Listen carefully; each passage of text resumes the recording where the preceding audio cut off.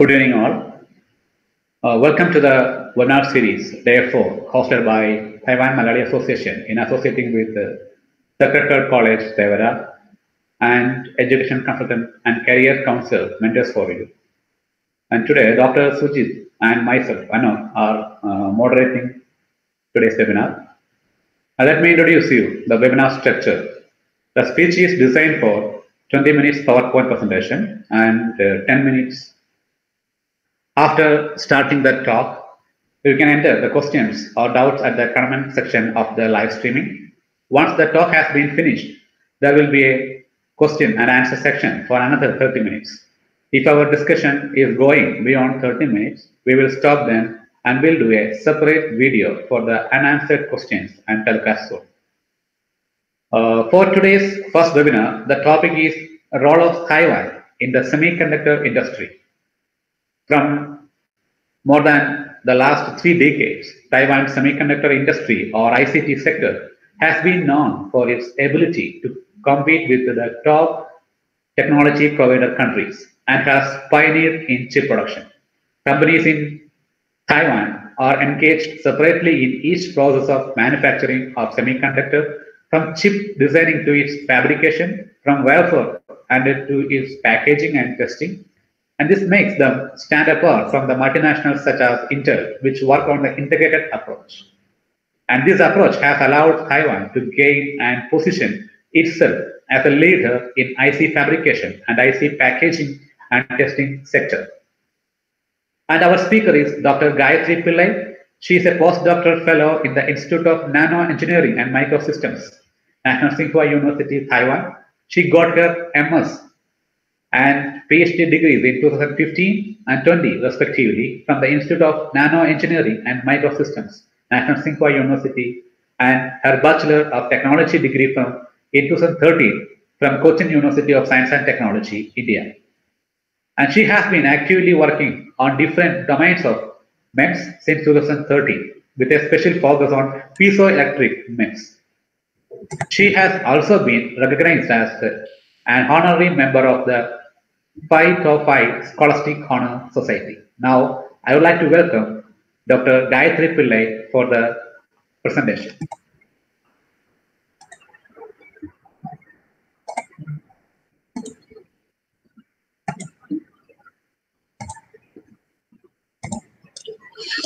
Thank you, Dr. Alok, for that wonderful introduction. And I would also like to extend my gratitude to one and all who have logged in to attend the seminar today. So I'm Gayathri Pillai. I am a postdoctoral research fellow in National Tsing Hua University, Taiwan. I have been working in the field of semiconductor for the past eight years, where I have done my master's and my PhD degree. So today's topic of this webinar is that I would be delivering is role of Taiwan in the semiconductor industry. This is a brief overview of the talk. The uh, presentation shall start with the uh, question that is why, right? Why semiconductor technology or why should we be more aware of the advances in the semiconductor technology and how exactly is it influencing my life? So once that is done, I would move over to Taiwan, which is the main topic that is the lead player in the semiconductor industry. Once I familiarize why Taiwan is that important in the semiconductor, I would move over to the industries and the national labs which are based out of Taiwan, which make this impossible feat possible. So once that is done, I would like to explain more about it using an example of TSMC. This is not only a success story of Taiwan, but is also a global icon in the semiconductor industry. And once we cover all these things, we have a few concluding remarks. So let us now start with the talk. That is why semiconductor technology. The people who are not in working in the semiconductor field may have this question, why is semiconductor technology important to me? And also for all those who are attending the talk today or might see the video later, we might all have this question as to why is semiconductor important to me? So answer is as simple as this. For example, the or the gadget that you're using today to listen to my talk and the gadget I'm using today here to deliver my talk all are an example of semiconductor technology application. For example, the desktop or the laptop that you have has billions of transistors in it. So when I say the term transistor, it itself is a semiconductor device. So that shows how much semiconductor elements surrounding us in day-to-day life. So once now that is that is given out there, that is semiconductor is important to us. Let us see how exactly it is. So we know that 5G, 4G are all the impending and the present technologies which are revolutionizing how we live, right? So this is a report from Ericsson which shows that the industry digitalization could be worth 700 billion dollars by 2030. So now 2030 is about 10 years ahead of us, but there are technological experts who are predicting the impact that will be continuing, that is, the semiconductor will continue continue to influence us for the next decade and even more so. So, given this, how exactly or what are the or what are the components that we have right now which is a part of the semiconductor technology. So these are the pictures, which is a very pictorial representation, which goes on to show what are the components we have in our day-to-day life. For example, mobile phones, automobile, IoT sensors. So IoT is a, a, relatively new term in the past decade. So it is basically an integration of several kind of sensors and the communication hub along with the data processing. So which is also known as the cloud computing. These are all enabled by the advances in artificial intelligence and also high-speed communication by 5G. Right? So now we know that semiconductor is important to us so, what are the companies or what are the major providers which are giving us access or which are delivering such kind of devices to us? So, let us look at that. So one of it is Intel. So Intel is a company which is a multinational company based out of United States.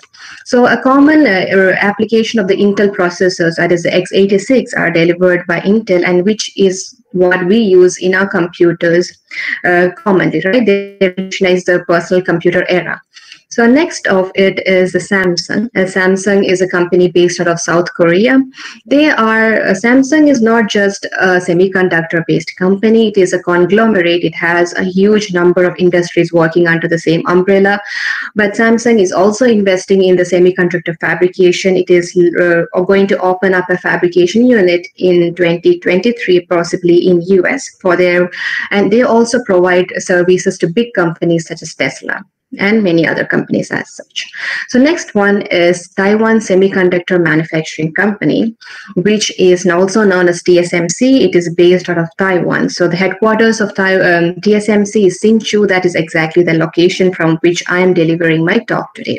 So TSMC is one of the biggest suppliers of uh, semiconductor chips to tech giants such as Apple. So we know that Apple does not compromise on performance. So TSMC does have the cutting edge technology to meet the demands of such big companies such as uh, TSMC, many automobile companies, uh, and also NVIDIA, A- AMD, etc. So next other two companies are the Qualcomm, which is also another USA-based company, and we have SK Hynix, which is a Korean-based company, which is known for its memory devices. So an interesting thing to look at this slide is that the three companies that we listed here are the companies that are from the East Asian countries. And out of these three companies, the main focus will be the contribution of Taiwan for today's talk. So we will be mainly focusing on TSMC. So now, uh, 2020, let's just rewind a year back, and that is 2020. It was a, a pandemic year, right? So many industries had gone down, but semiconductor industry is one such industry which sustained the testing of even a global pandemic and showed that it still continues to rise.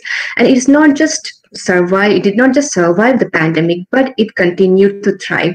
So this is a plot which shows that the global export has been uh, increased by about 23.4 percentage when compared to 2019 so a, so an industry which can actually survive a pandemic goes on to show that the impact it has and it's something which cannot be stopped so this is an inside out approach that I would say. So in the center, we have a semiconductor device. So that will be basically a micrometer nanometer device.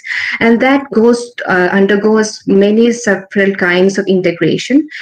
Integrated circuits, we have packaging, and once these packagings are done, they become integrated systems. Now, this is quite technical. For people who are not from this industry, it might be quite difficult to understand what I just meant. So, integrated systems can be directly applied to applications. So, what are the applications that are using semiconductor? So, these are some of the examples. Okay, some are being automotive, robotics, the handsets, the mobile handsets that you have is an example of communication, healthcare, right? The ultrasonic etc all have semiconductor devices now since the today's talk is not quite a technical one so we won't be going into any technical details but let us take an example of this automotive which we are all familiar irrespective of whatever background we are coming from so how does semiconductor influence the automotive business and what are these applications? So next slide shows actually a blast of arrows which each indicate a certain application which are powered by semiconductor devices. So they include processing, sensors, etc. So we might all be familiar with certain uh, automotive advertisements which shows that they have a certain level of safety, right? That is when you hit a target at a certain speed and airbag is being deployed. So what exactly controls internal processings are all done by certain semiconductor processing units, integrated circuits, and we have a tiny device known as MEMS accelerometer, which actually triggers this airbag deployment. And MEMS is also a classic example of semiconductor. So this is the slide that shows how exactly uh, even a day-to-day -day application such as automotives has been revolutionized by the semiconductor semiconductor. So this is a slide that shows that semiconductor gives us a holistic experience. Now, why is that? Is because semiconductor, it start, the processing starts from a silicon wafer. It undergoes several different kinds of fabrication, and finally you get a device. Now that device undergoes packaging, integration, etc. This slide particularly shows the evolution. That is, we have a, we had a desktop earlier which could save the data, but now it's in the terms of servers, clouds, data centers, etc.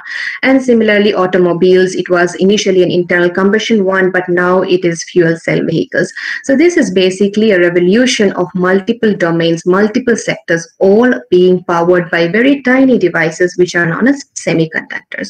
So these are the um, some of the applications that this semiconductor technology has been giving us, and we might not even be aware of what exactly goes behind. So now I have been talking about why is semiconductor important to us, why semiconductor industry survived a pandemic, and also the semiconductor revolutionizing different sectors of life. So, but I did not explain what a semiconductor is. So without going into too much of technical details, let me just explain what is a semiconductor. So there are different kind of materials. Roughly, we can categorize them as a conductor, a semiconductor, and an insulator. So a conductor is something which can help the conduction without very less resistance. An insulator is something which does not allow the flow of charge. So now we have an intermediate uh, category, which is known as semiconductor, whose conductivity can be controlled. That is, the conduction is controlled using the carrier flow control. And different application needs different kind of current, different kind of voltages, different kind of amplitude limitation. Everything is application dependent. So now we have a material which can be engineered depending on whatever application you want. Next, let us go over to the main topic that is Taiwan, right? Taiwan, the lead player in semiconductor industry. Now, this is a very strong statement to say that Taiwan is a very strong leader, but how and why? So let us just go back, not too much in the history, just last year. So 2020 many um, countries had to be shut down, but thankfully, due to the excellent COVID strategy of Taiwan, we did not have any problems, and all the all the foundries were functioning quite well. So what happened is that many automotive companies did not have any chips coming from other fab units because they all were shut down. So all of them had to rely on TSMC. And we know that several companies or these kind of high-end automotives will not rely on a foundry unless the foundry gives them the best quality chips. So that is where the picture of TSMC comes in. So TSMC was able to is able to deliver such kind of cutting edge technology. Now this news became so widespread and tsm and taiwan was on the global scale again. The optics changed and this is what the news about taiwan is. So that is that is the world is dangerously dependent on taiwan for semiconductors because there is not many foundries in the world which can give uh, semiconductor processed chips as good as tsmc so now let us see uh, so now we have seen how Taiwan is powering the world in the semiconductor business. So let's see what are the industries and the national labs that are allowing this to happen, right? So this is the semiconductor industries in Taiwan. This is a report from a Taiwan Semiconductor Industry. And then we have the numbers here. So there says that there's 238 IC fabless design houses, 15 fabrication companies, 37 fabrication and testing houses, 17 substrate suppliers, 11 wafer suppliers, 3 mask makers, and 3 lead frame companies. So these are different kind of stages that would be needed to deliver a fully processing semiconductor IC chip. So it is good to see that Taiwan, being a small island nation, houses all the high-tech technologies that would be needed to deliver a high-performance chip. So these are some of the examples of the top Taiwanese semiconductor companies. So I have just divided them into two, that is the fabrication based and the fabless based. So the fabrication based are the TSMC and UMC. TSMC is the global example actually. So it, everybody who works in the semiconductor field knows about TSMC. And then we have MediaTek and Foxconn, which are fabless, which does the um, assembly so they are known as fabless because these companies do not do the fabrication. So there can be two kind of semiconductor companies one that does the fabrication and the other which does not does the fabrication. So these are just few examples of the top taiwanese semiconductor companies and this is a recent market analysis which is given out by the market research reports, which shows that the Taiwan TSMC company is leading the markets by a staggering amount of 354.73 billion. And please bear in mind that this is a report that came out on mid of 2020, which was again a very tough year for many sectors of businesses, but semiconductor thrived very well. So there are different kind of national labs which conduct semiconductor researchers. So one is a National Chip Implementation Center. The other is a National Nano Device Lab. So recently, both of these institutions were merged under, and they are now known as the Taiwan Semiconductor Research Institute. They allow different kind of facilities. They even open up for academia researchers. So you can actually do your fabrication. They also have device testing facilities, and also they are an interface between TSMC and the academia. So this is a very strong uh, institution by the government which enables people to use these high-tech facilities. So irrespective of them just contributing to the industry, they are also contributing heavily in the academia. So this is a report which shows that this particular TSRI was presented four papers at IEDM 2020. Now to speak of why IEDM, it is one of the pioneering conferences where the high-tech novel ideas are presented by companies such as Intel, IBM, etc. So whichever are the leading technologies, they do report at IEDM and it is one of the most highly reputed conferences. So it is very um, a, a moment of success to see that TSRI presented four papers at IEDM. So this shows that they are not only contributing to the revenue or to the industry, but also to the academia uh, field as well. So now let us go to TSMC, that is the influential icon or the success story of Taiwan Semiconductor. TSMC is rather a very new young company. It was established merely 1987 by Morris Chang, and it is a Taiwanese multinational semiconductor contract-based manufacturing and also design company. So TSMC is not just the manufacturing hub, it is also a thriving and a vital R&D for all the latest semiconductor fabrication technologies.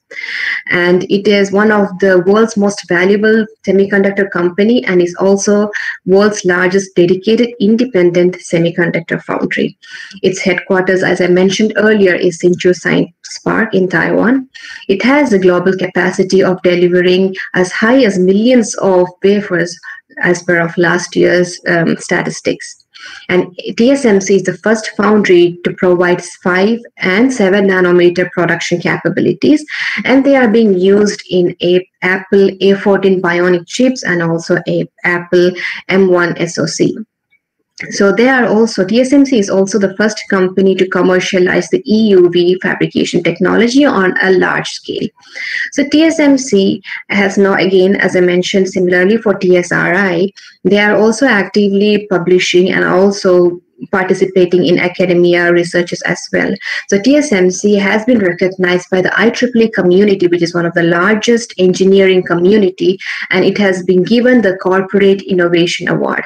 It is also an active participant in ISSCC conferences, which is also one of the it's actually one of the toughest conferences to get an acceptance. It is said that a conference paper in ISSCC is almost as good as, or even better than a journal paper. So that is how competitive these conferences are, and TSMC is a regular presence in such uh, mediums as well.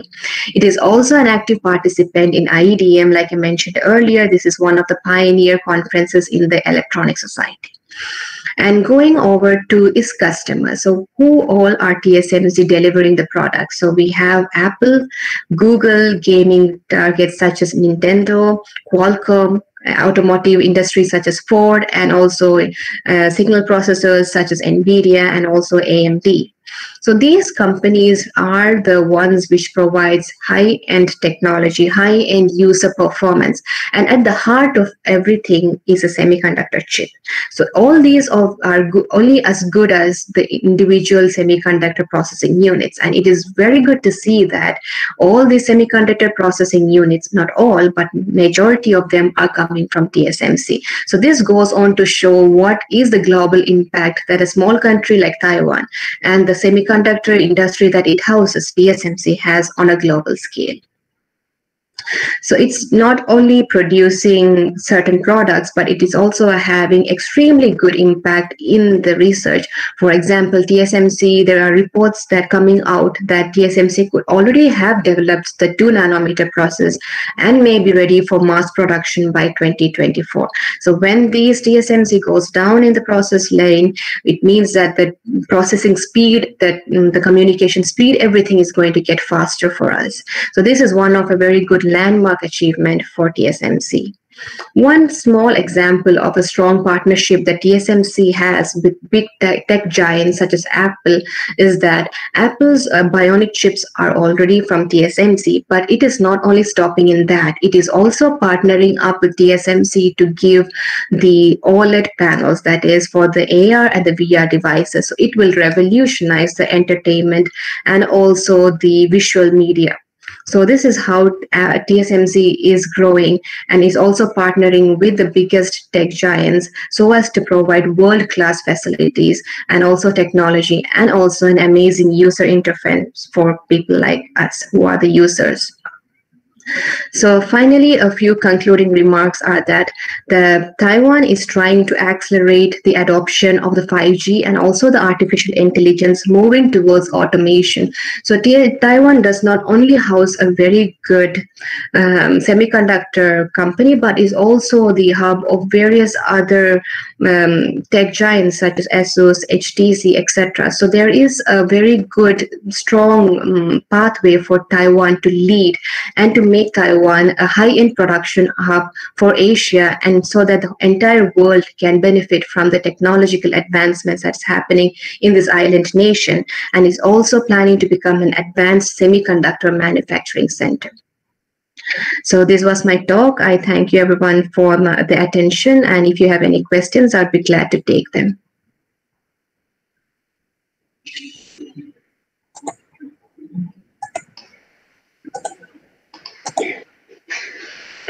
Thank you, uh, Gayathri, for the nice presentation. And uh, we have some questions during the registration okay. and also in the live chat.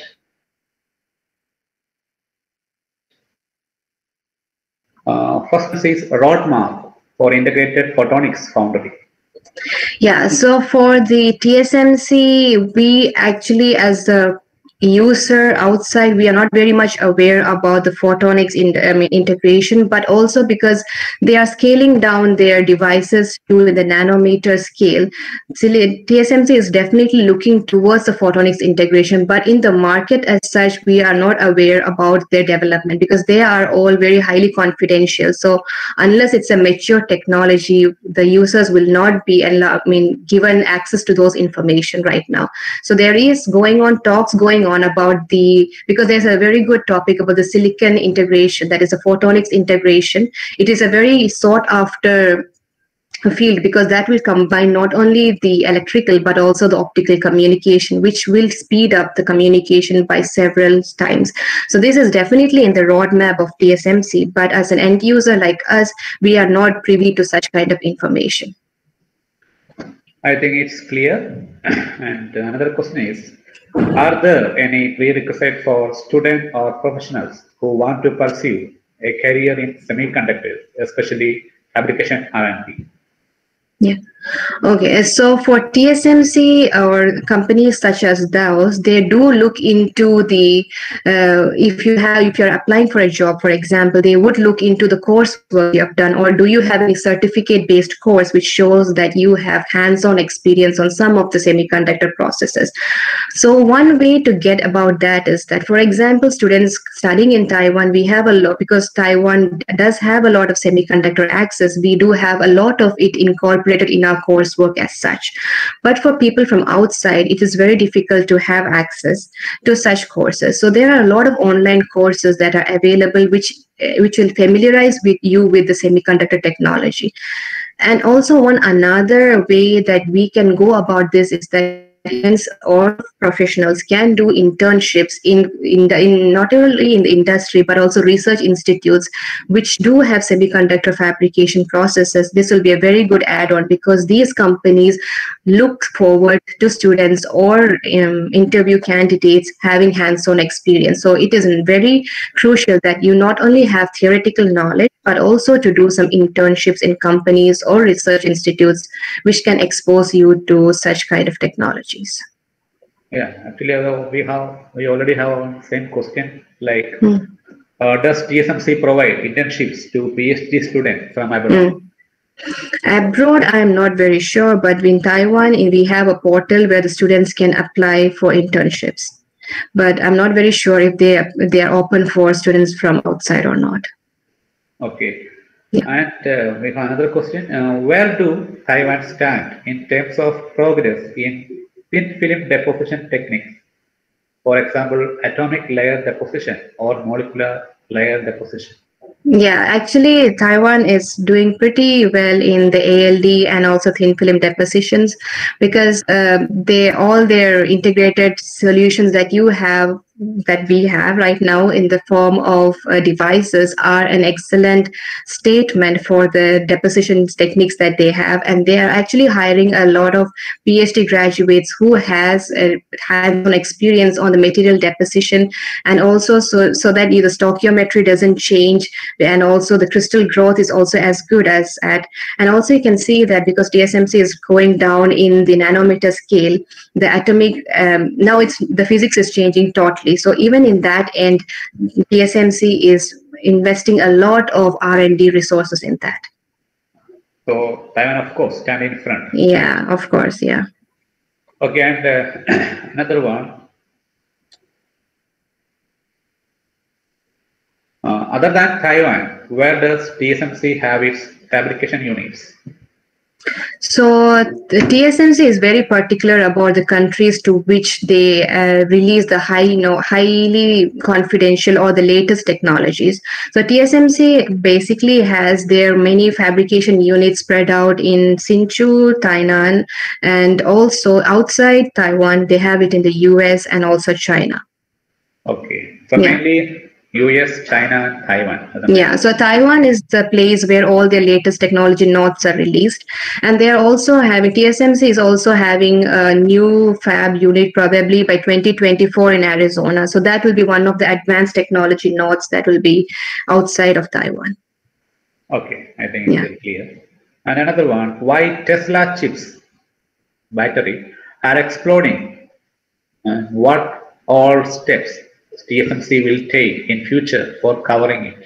Do you have some idea? I'm so sorry. I cannot speak on behalf of TSMC and their targets and their, what approaches they'll be taking. So I cannot answer that question. I'm sorry. Okay. And uh, another one. Does these semiconductor companies provide access to academia research, research firms outside Taiwan? Okay. So outside Taiwan, it basically depends a lot on the country of origin from which you're trying to make a request to access these technology nodes. And one very important thing is that even though I said TSMC has already achieved the 5 nanometer, 7 nanometer technology, all, only the technology which are quite mature and old are generally accessible to the industry to the academia. For example the 0.18 the 0.35 etc are accessible and also the latest nodes. But then outside taiwan what we do is that the company should have uh, the company and the university or the nation which is housing the university should have a non-disclosure agreement. So there is a lot of legality behind it. So if that is clear then the academia people can access the TSMC process, but with a certain price. Okay, and also uh, I think uh, this academy, I mean, universities and TSMC have some collaborations also. Yeah, they do have collaborations, and but again, the tech, the technology that an outsider can access in TSMC is very limited. So they have the upper say. The TSMC has the upper say what can be given out to an academia or what can be given out to an industry. Okay. Yeah. And uh, we have another question. Uh, can uh, masters, MS, MS graduates get mm. internships in TSMC mm. at US? Do they look for prior uh, prior experience for interns? I believe they do. You can get an internship in TSMC. You have they have a portal. Uh, it is active, I guess, every six months, uh, and we can apply. It's a basically a normal internship application. You need to put references and what all courses you have done, and basically a research statement as well. So they will review your applications, and depending on the hiring committee, they can give you an internship position. But it is possible for master students and even the PhD students to apply for internships. Okay, I think it's clear. Yeah. Uh, and uh, another one is, apart from national labs and companies, how does the university in Taiwan contribute the technology advancements? Yeah.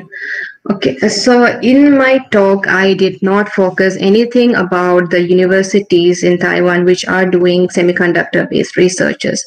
So it is interesting to see that all the leading universities, not just the leading university, most of the universities in Taiwan are heavily contributing towards the semiconductors. For example, National Taiwan University, National Tsing Hua University, National Chiao Tung University, etc. So all of them have a very strong electrical department as well. So they are are using the TSMC, UMC's uh, integrated circuits to develop their technology. So they are also contributing. And uh, one another thing is that companies such as TSMC actually have chip chip competitions as well. So all these academia researchers can go under competition and they also win certain awards. And when a university or when a certain lab wins award, they're actually given few extra runs in these uh, TSMC platforms. So the universities do contribute significantly. And I think our last question, mm-hmm. does these companies recruit Indian graduates directly? So, as far as recruitment to companies such as TSMC are concerned, they do recruit Indians directly. There are examples of many IITs because there is uh, in IIT Bombay, IIT Delhi, Madras, etc. TSMC does go to these institutes for campus placement. Uh, so, there is a direct recruitment of Indian students from these top tier universities to work in TSMC. So, yeah. Okay, and uh, we have one more question. Just now we'll put another question. Master program candidate have any opportunity in uh, TSMC? Uh, I, IELTS needed for the course. I think it's not clear actually. Mm. And that means that uh, IELTS is needed or not. Uh, basically, the master's students do have a greater opportunity in TSMC. They do uh, hire a lot of master graduates. So, yeah, like I mentioned earlier, there you have to go through the TSMC career portal and apply, and also look out for the post that you're applying. And they do have a prerequisite, so you can check that out and then apply. So, yeah, master students do have opportunity in TSMC. Okay, and uh, one question uh, is the YouTube streaming is the role of Taiwan in 5G technology. So Taiwan is actually uh, rolling out a lot of chips. Like for example, um, the TS, the new Apple phones, as you see, can support the 5G, right? So I, as I mentioned earlier, TSMC is the one that provides the bionic chips for uh, Apple. So yeah, so TSMC's collaboration with Apple is one classic example, one class, one of the many classic examples of how Taiwan is contributing to the next 5G revolution. Okay. I think that's it. Uh, Okay. Thank you, Gayathri, for the Okay. wonderful question and answer section. Okay. Thank you everybody for listening to the talk and taking time out. Thank you. Uh, thank you once again for attending the webinar. And if you wish to learn more about the topic, please feel free to email us. Now, I am welcoming Dr. Sujit for handling the second session of today's webinar. Dr. Sujit, please. Thank you, Dr. Anok. Welcome to the second session of Taiwan Malayali Association's Taiwan Career and Education Webinar Series 2021, Day 4. The webinar series is supported by Mentors for You and Sacred Heart College, Thevara. Our second speaker is Mr. Edet Bijoy. Currently, he is pursuing his PhD from National Southern University, Taiwan. He completed his bachelor's and master's in electronics engineering from Anna University, Chennai. He worked as a faculty in Department of Electronics and Communication Engineering in MES College of Engineering, Kerala for 11 years. And he is a senior member of IEEE. Today, he is talking about research scope and career perspectives in IC design. IC design is always one of the major interests of electronic engineer. The opportunities are widespread around the world. The webinar will give an insight on how to become an IC design engineer. The talk will be for uh, 15 to 20 minutes. After the finishing the talk, there will be 30 minutes of question and answer section. You can type your questions uh, either in the YouTube streaming or in the Google Meet uh, comment box. Now I am welcoming Mr. Edet Bijoy for giving his talk. Welcome.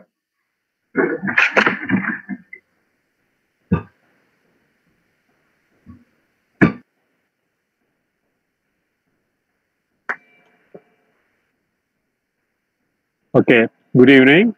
Uh, thank you, Dr. Sujit, for the nice introduction. And also, I thank uh, Dr. Gayathri for the wonderful and informative session. I am Edet Bijoy, currently pursuing my PhD at National Chiao Tung University, Taiwan. This presentation is about the research scopes and career opportunities in IC design. Not every students who graduate from universities or college are much aware of opportunities and career scopes in VLSI industry. The content in this presentation will help you to know what IC design is, skills required to become a successful IC design engineer, and how to choose universities that will help you to find better jobs. This presentation will be beneficial to students currently pursuing bachelor's or master's and looking forward for a career in semiconductor industry or looking for research openings. Apart from current students, people who are currently working in different fields and looking for a career change, particularly in semiconductor industry, as an IC design engineer, the information presented here will be beneficial for your transition. Also, high school students, if you are passionate in electronics and wanted to know more about the future prospects, this presentation would be helpful to you as well. I would like to give a very brief insight about this topic, and I encourage you to ask more questions to make this session more useful. I express my sincere thanks to uh, Taiwan Malayali Association, Sacred Heart College Thevara, and Mentors for You for their support. I'll be going through the brief aspects of IC design. then about the skills required that will help you to find good jobs in the industry, and then about the research scopes in IC design. I would like to start with the basic definition of IC design. Integrated circuit design or IC design is a subset of electronics engineering encompassing the particular logic and circuit design techniques required to design integrated circuits or ICs. To get an idea about the rapid growth of semiconductor industry, see the first microprocessor developed by Intel in 1971, which was Intel 4004, a 4-bit microprocessor, which has 2,300 number of transistors fabricated in 10 micrometer technology which runs at the speed of 740 kilohertz. Next is a recently launched processor by Intel, in, which was launched in 2019, which is the 10th generation Core i7 processor, which has approximately 3 billion transistors. That is 3 into 10 power 9 number of transistors on a single die fabricated in 10 nanometer technology, which is thousands of times thinner than the human hair. And it runs at very fast speed. So you can see the revolutionary change happen in the span of 50 years. This flowchart gives an overall picture about the IC design flow. I will not be going into the details of each and every block, but this will keep you stay connected with the rest of the slides. To get a brief idea, we start with the system specification, and mostly the specification will be based on customers' needs. With the available system specification, we develop a behavior model which gives information about input and output configurations of the system. Then we have to design circuits, be it analog or digital, or both analog and digital, then create layout, fabricate, and then test. So in this talk, I'll be talking only about the highlighted topic, which is the job of an IC design engineer. So in the right-hand side, you can see a figure which gives an example for each blocks given in this IC design flow picture. Why should we care about IC design? Uh, electronics play a vital role in our daily life. Here are some applications to say drones, robotic surgery, various robotic applications, several electronic gadgets like mobile phones, digital thermometers, autonomous navigation systems. These are just few to mention. Now take a moment to think, how will a day look for you without electronics? From your morning wake-up alarm to the relaxation music before sleep. Apart from mobile phones and computers, today most houses have a lot of electronic gadgets like vacuum cleaners, microwave oven, air conditions. Just if you walk from your living room to the kitchen, so you can see like noticeable lot number of electronic gadgets around us. The future of electronics is much more fascinating with virtual reality, flexible electronics, more sophisticated robots, and highly equipped autonomous vehicles. So this gives a picture about the importance of electronics today. Applications from like today, most of these uh, applications we submit online, online services like paying bills, online shopping, online banking, online learning and remote working. So also if any of your friends or members in your family is traveling an airplane, you can even check the trajectory of the airplane. You can virtually see how that plane is actually flying. So there is the advanced advancements in IC industry. By this time, you might have got a clear picture about the role of an IC designer who made all these innovations possible. And IC designer is not the only role player, but he, uh, IC designer is one among many role players in the semiconductor industry. So are you a graduate specialist in electronics or a student currently doing your bachelor's or master's in electronics? Do you want to be a part of future innovations? If you're confused about starting a career as an IC design engineer, this is your time to think of. The world is running behind AI and machine learning, and today this was possible only because of the developments of powerful hardwares that is capable of running large-scale machine learning algorithms computing millions of parameters. Now we will see the skill, skills required to become a good IC design engineer. Unlike software jobs, where you need analytical and programming skills, to become a good IC design engineer, you need relevant skills and very good exposure to tools. Subject knowledge is very important. equally practical experience is also very, very much important. When I say industry standard tools, you can learn theory using freely available tools, but that will help you only to understand the concepts. For example, if you use uh, such free tools to simulate a filter or an inverter, for example, you can see the response of the filter or inverter, but the parameters like voltage, frequency, delay, etc., all, all these varies with tools. So in order to get a solid understanding about these concepts, especially about how the performance varies with respect to the change in any of the design parameters, you have to work on standard tools. And that knowledge is very much important for you to get a job in industry. I will give more details on this in the upcoming slides. The IC design can be categorized into two, uh, say analog and digital, for which you need different skill sets to be an expert in each domain. To start with analog, you need to have relevant technical knowledge about analog signal processing, control theory, analog IC design, and some knowledge about semiconductor processing. So you might be wondering why we should know about signal processing and other subjects to design a circuit. So for example, if you are asked if you are asked to design a simple filter for say 5G or 6G applications without some knowledge in signal processing, it will be very hard to realize a filter that will be a good fit for that application. Also, you should check how stable your design will be. For that, you need some background knowledge in analog signal processing and control theory as well. Few circuits which comes in the category of analog circuit design are PLLs, uh, phase lock loops, oscillators, active filters, matching circuits. So mostly analog circuits will be used in RF-based applications. Uh, we can also integrate uh, uh, inductors inside the chip. Apart from subject knowledge, you should have a good exposure to industry standard tools, which is very important to grab a job in industry. Commonly used tools are the tools from Cadence and Synopsys. To be a good digital designer, you need to have knowledge about digital communication, digital signal processing, and digital IC design. To be a good digital IC designer, you must be good in HDL programming, either VHDL or Verilog HDL. The choice between them depends upon the country and the university associated with, because few universities and few countries do work on VHDL and few others work on Verilog HDL. Now, if you're interested in IC design and if you do not know how to take the first step, you can start by reading some simple papers or magazine articles which will induce some interest on the subject.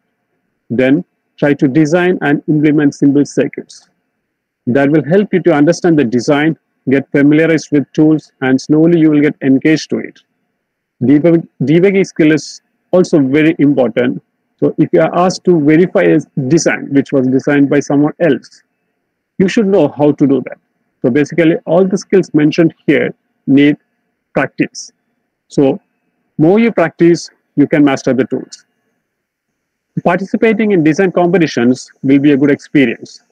Check the given websites uh, from Xilinx and IEEE Solid Circuit Society.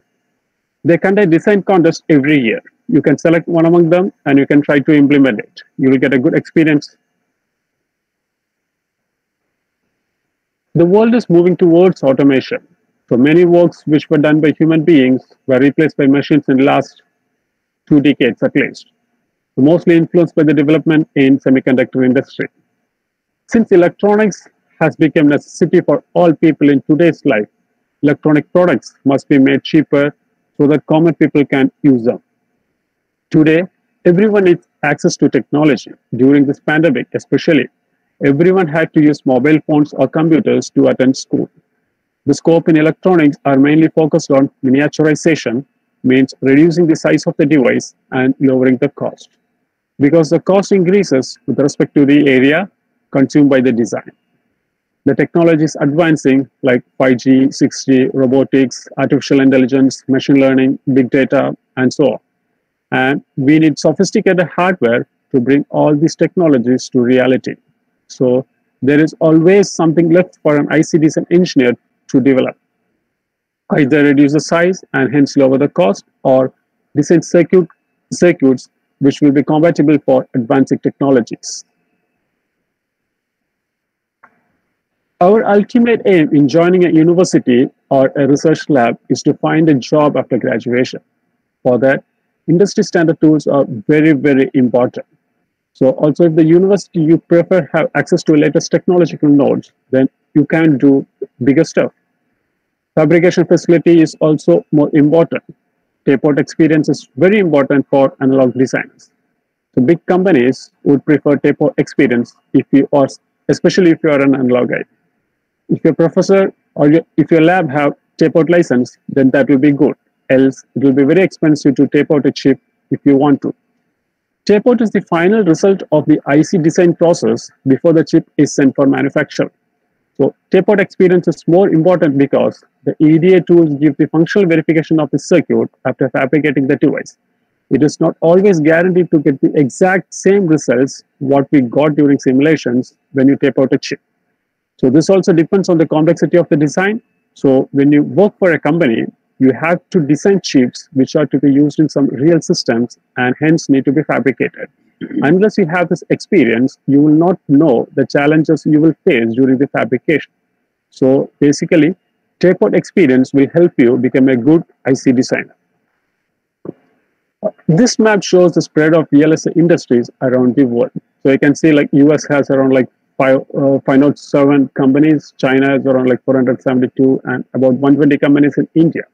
And a small country like Taiwan has about 256 VLSI companies. Uh, this map shows the semiconductor clusters in Taiwan. Taiwan Taiwan-based few IC design uh, companies are MediaTek, Novatek, and Realtek. And also Taiwan has offices of Intel, AMD, Qualcomm, Google. Google has the hardware manufacturing in Taiwan. Also uh, TSMC, Samsung, and other companies too. So there are a lot of many other design houses as well. As you saw in the previous slide, Taiwan has about 250 semiconductor-based companies, and that is one big reason that you can prefer Taiwan for IC design. The cost of living, tuition, and scholarship were already discussed in previous webinar talks. They are available online. You can listen to them for more details. Without doubt, universities in Taiwan has world-class facilities.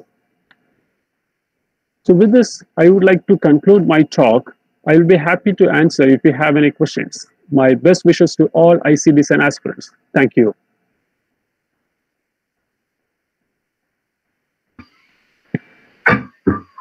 Uh, thank you, Mr. Edet Bijoy, for your wonderful presentation. Now the time for question and answer section. Uh, question and answer section. Mm, we already received uh, some questions. I am starting with that. You, uh, everyone feel free to type your questions in the comment box of either in the Google Meet or in the YouTube streaming. The first question we received is how easy to find a job in Taiwan after pursuing a master's or PhD specialized in IC design? Okay, so uh, okay, uh, so if you want to uh, get a job after a master's specialist IC design, so if you are a graduate from Taiwan, it is quite easy to find a job uh, but uh, I'm not quite sure about if you graduate from uh, other countries because I know like uh, IC design companies actually, uh, as I mentioned, a lot of things here, they expect some uh, exposure. So if you graduate from good universities and if you have some good exposure, which I have mentioned here, so there is high possibility to get a job. Okay, thank you. The next question actually that is type of general type question what are the scopes for ic design study uh, you, you mean the what is the scope for ic design study yes okay so uh, okay uh, uh ic design study actually uh, uh, I don't know whether did you mean that what all jobs you will get after IC design study. Actually, if you are a master graduate in IC design, so you, you have a high chance to get a job in IC design houses uh, like uh, so Intel, Qualcomm. Uh, it also depends upon your like more focused area of research, maybe like analog analog design or digital design or something like. So if you are more particular about research, then you can also go for like PhD that is also an option after uh, doing a specialist course in IC design. Yeah.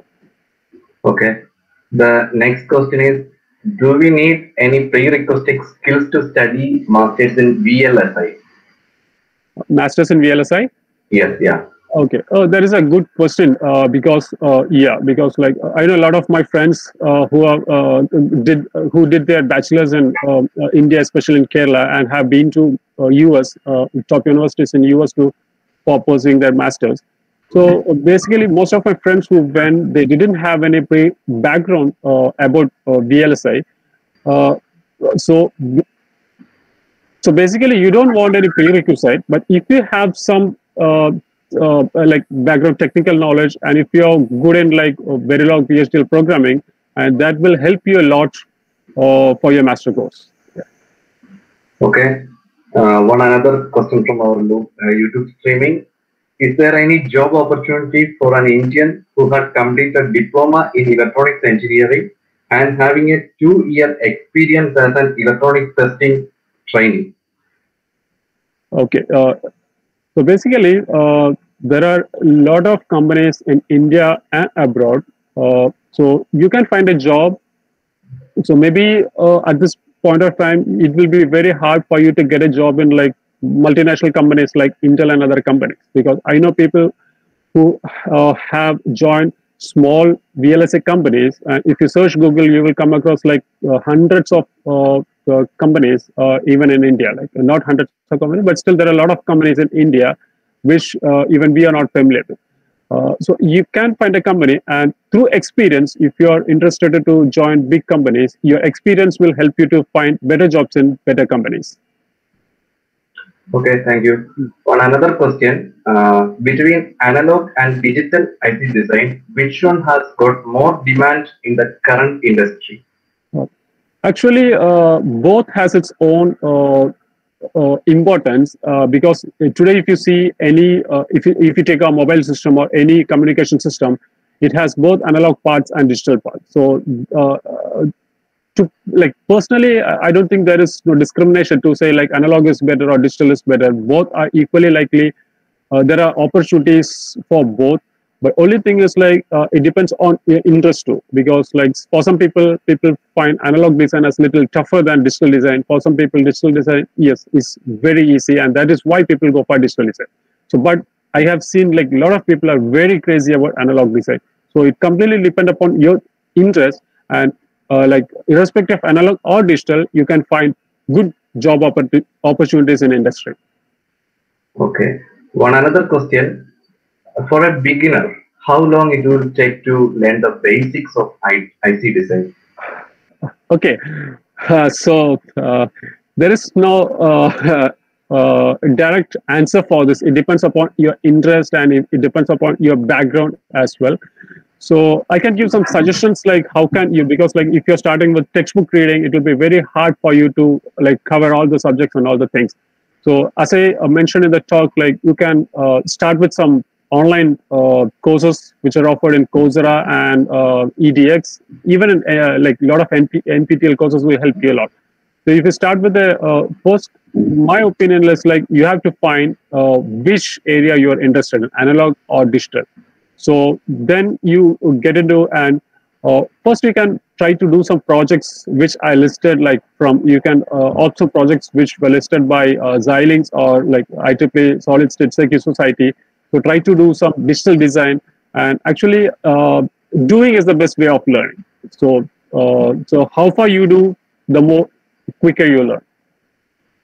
Okay. Uh, one another question. Uh, like, what is the best way to enter VLSI industry for a fresher? Uh, when you say fresher, uh, okay, so if you are a BTech electronics graduate, uh, it is really a challenge. Uh, it depends upon the university you graduate from and the country you graduate from. So uh, if you are a graduate from like uh, Premier Institute in India or abroad, there is a high chance for you to get uh, a job in industry. Else, there are op opportunities. So it will be a little hard for you to focus on the top companies like Intel, Samsung, and other companies.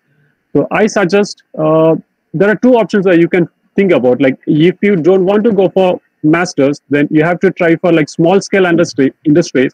There are, as I uh, mentioned already, there are a lot of small scale industries in India itself. So try to get try to get an opening in the small scale industry, and that experience will really help you to find get a job in like uh, uh, bigger companies as well. And second option is like if you are not hesitant, uh, like uh, like if you are interested in pursuing masters, and that will be a good choice for you to get in the top companies. There are so like there are a lot of options to uh, do masters in uh, uh, especially in VLSI. Uh, so a lot of people go to US. US is quite expensive when compared to the like Asian countries. So Taiwan is one of the place where you can like get good education in more affordable price when compared to Western countries. so you can check the details of the scholarship and other other details in previous talks as well. So either go for masters, there will be a good choice and the best choice, or like you have to find a uh, you have to look for the small scale companies uh, who are doing like chip design okay uh, one another question a very interesting question if one has fabrication experience but no design experience for finding a job in semiconductor industry does one need to learn about design as well? Definitely. Because yeah there is uh, you know like uh, yes definitely you have to learn uh, like design uh, you should have a good background knowledge and uh, exposure to uh, vlsi based tools and vlsi knowledge to get into vlsi industry. That is uh, because like people don't hire uh, just because like uh, you have a good knowledge in some other domain and they are not ready to train you to their requirements. Because like there are a lot of people with good which meets their requirements as well. Yeah. Uh, maybe the person who asked the question is uh, thinking like uh, he may know some kind of uh, solar cell fabrication or OLED fabrication, and he know the fabrication, but he don't know the uh, IC related thing. Oh, okay. Then, okay. I, yeah. So basically, yes. Uh, if you see the semiconductor industry, so I I show the flow of IC design, like so starting from design specification to tape out so there are different categories of design. So one only one category is actual IC design. So there are other opportunities where you can work in a semiconductor industry. You can work in a fab if you have relevant experience and background, and if you can work in testing, you, you can work in packaging. So based on your background, your experience, actually you can uh, check which category will fit for your experience and background, and then you can try uh, I think you can uh, you can make a try. That will be a good option. Yeah. Yeah. The next question for an applied electronics and instrumentation BTech graduate from India, what all job opportunities are there and which are they? Okay, this is like uh, uh, this question is actually uh, out of this talk, but uh, uh, related to this talk, like what I can say is like if you are interested in VLSI industry, even though you are like from applied electronics instrumentation, it is basically an electronics background. So you can do masters in VLSI and then you can uh, find a job in electro like uh, semiconductor industry if you are interested in uh, semiconductor. Yeah. Or else like uh, uh, like if you're interested in some other field, maybe you can uh, like do masters on that particular area because I think it is not good for me to answer this question. I'm sorry for that because like these these were discussed in previous webinars as well. Yeah. Yeah. Thank you. Okay, I think there is no other questions. Uh, thank you, Mr. Edet Bijoy, for your nice presentation and nice Q&A section. Thank you. Thank and you so much for having me as well. Thank you for all the participants too. Thank you. Uh, so uh, today we are finishing here and our next webinar will be on uh, coming Saturday, I mean February 27. That will be our final webinar in this series. And thank you everyone. And thank you SciWriters for the wonderful YouTube streaming also. Thank you. Thank you very much.